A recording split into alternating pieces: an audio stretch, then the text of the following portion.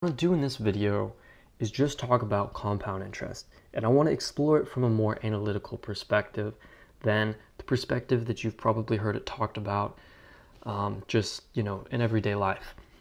So there's some very very generic advice that's very good advice from my opinion about retirement and this advice goes like this take 10% of your annual salary invest it in low cost index funds like the S&P 500 or the Nasdaq 100 or whatever, you know, and you do that through ticker SPY or QQQ.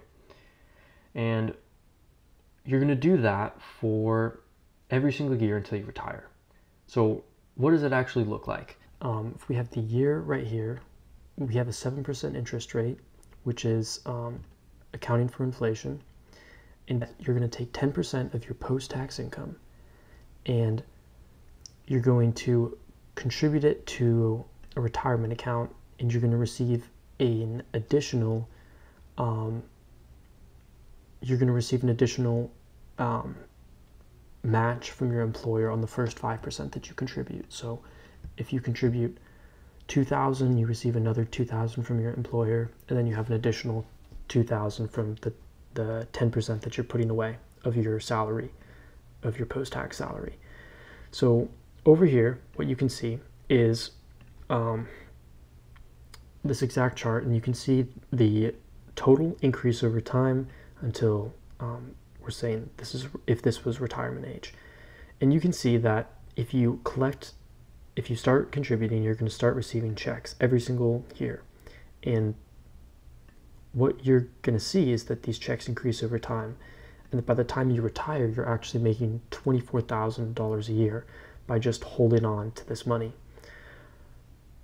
Now, if we come over here, what we see is if you go ahead and instead of just collecting these dividends every single month and you actually reinvest them in something called a dividend reinvestment plan or DRIP investing, um, you can see that your dividends are approximately, it's almost double.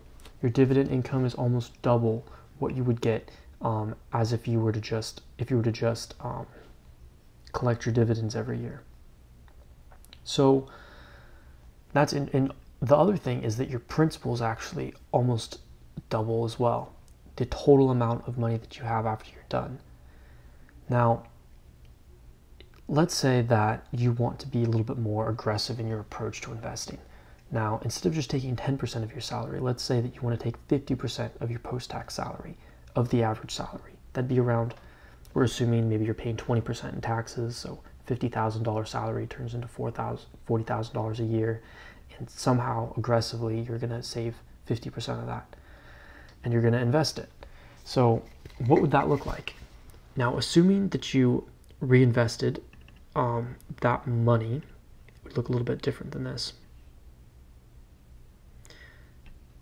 Right? It would actually look something like this, where you're making by the time you retire, if you reinvest these dividends instead of collecting them, by the time you retire, you'll have $138,000 a year in passive dividend income, while as having a principal of around um, $7 million.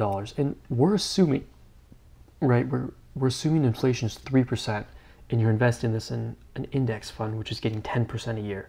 So the nominal amount of money that you would have we calculate this real quick, we can see that the nominal amount of money that you would have by the time you retire um, is absolutely insane, right? So, $17 million, $17 million in net worth, and you have um, a passive income of $328,000 a year.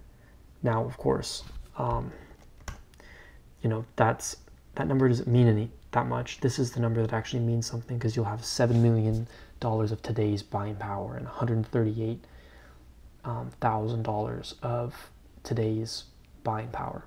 So that's interesting.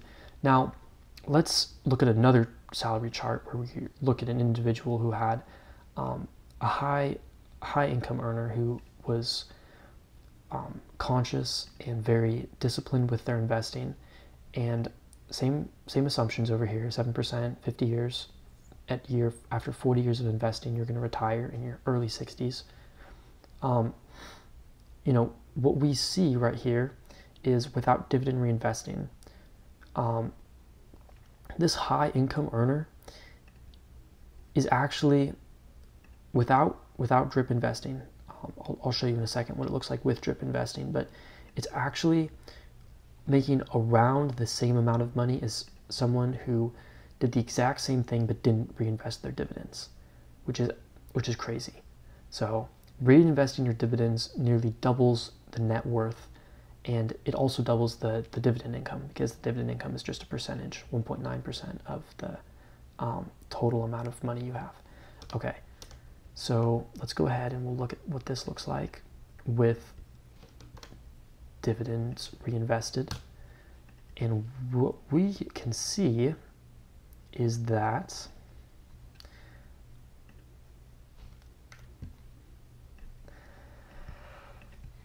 nearly 200 $277,000 a year in passive dividend income with a net worth of $14 million. And that is what uh, investing, it, very, very disciplined investing, 40% of your money, I'm sorry, 50% of your post tax income year after year after year until you retire is going to. Maybe all this does is it, maybe it is incredibly impractical to save 50% of your post-tax income year after year after year.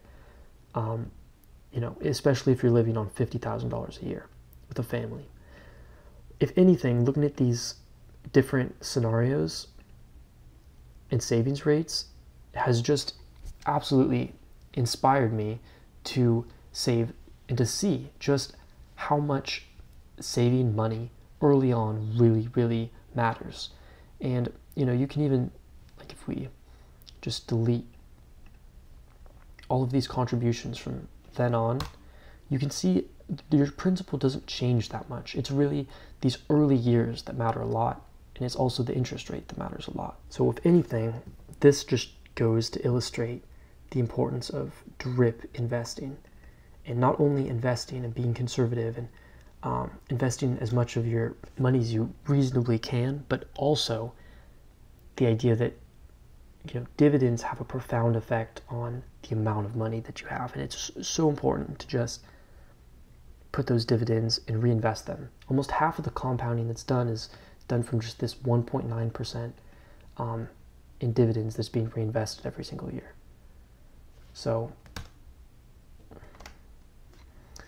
I hope this video was helpful in explaining maybe the investment process and what it looks like from a more mathematical perspective.